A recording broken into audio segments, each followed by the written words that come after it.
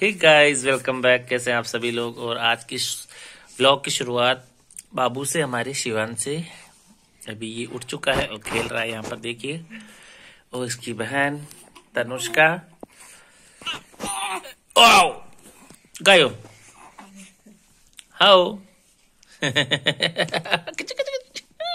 बाबू बाबू बाबू बाबू बाबू। ओ बाबुड़िया, बाबू।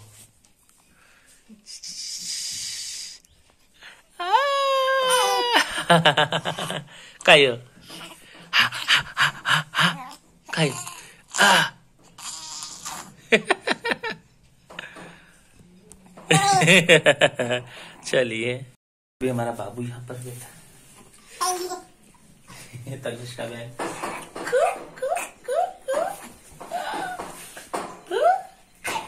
मैं बिस्तर सोते हैं। बातें करने वाला चाहिए। बातें करता बहुत अच्छी अच्छी आजकल, है ना? तो चलिए बाद में मिलते हैं आपसे। खेला लेता हूँ इसको। दोस्तों तो अभी मैं घर आ चुका हूँ और यहाँ पर वापस अभी, ये देखिए, कितने सारे ये हमारे जो कपड़े होते हैं, उनके बच्चे बनाते बनाया जाता है यहाँ पर, गुजरे कपड़े तो यहाँ पर पड़े हैं सामान। और यहाँ से जो बगस था, वो हमने यहाँ से हटा दिया इस रूम में से। और उसको हम रख हमने जो हमारा एक रूम बनाया था, उसमें रख दिया। अभी दिखाता हूँ मैं आपको। ये देखिए ये सब सामान यहाँ से निकाल दिया ये कमरा बिल्कुल खाली हो गया यहाँ पर। और ये बगस यहाँ पर रख दिया इस कमरे में यहाँ पर। ये देखिए ये बच्चों का स्टडी रूम बना देंगे। गेहूँ की टंकियाँ भी यहाँ रख दी। ठीक है ना? टंकियों पे गेहूँ की यहाँ रख दी। और ये यहाँ पर चलिए इसके अंदर चलता हूँ। ये देखिए इसको सही कर देता हूँ। आ चुका हूँ मैं।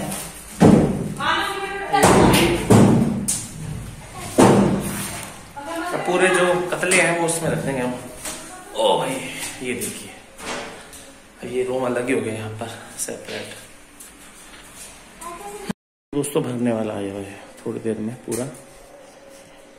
देखिए, रंग बिरंगे।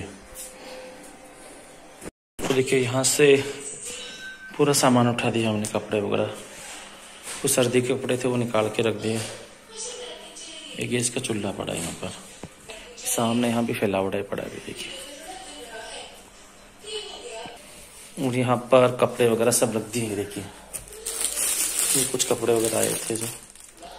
और इसमें मेरे सर्दी के कपड़े वगैरह सब इसमें रख दिए मैं। ये कंबल।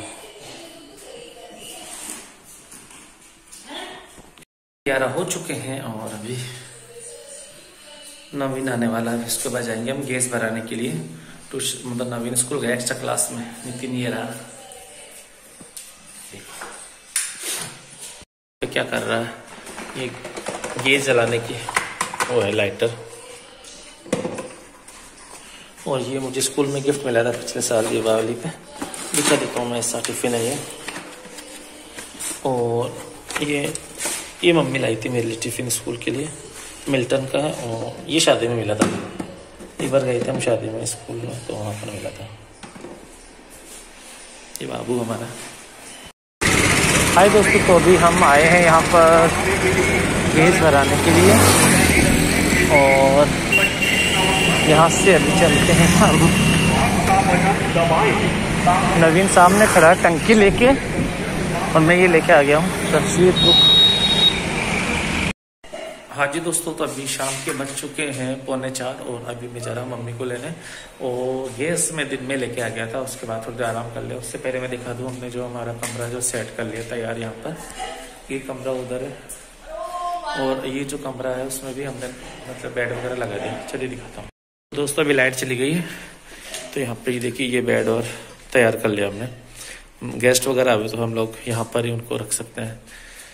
इसलिए ठीक है, ये कमरा ये हो गया। और यहाँ पर आ, ये जो बगस था कपड़े वगैरह था इसमें वो इसमें रख दिए गेहूँ वगैरह और यहाँ बच्चों की किताब कॉपी वगैरह यहीं रख दिए। तो ये हो गया स्टडी रूम बच्चों का।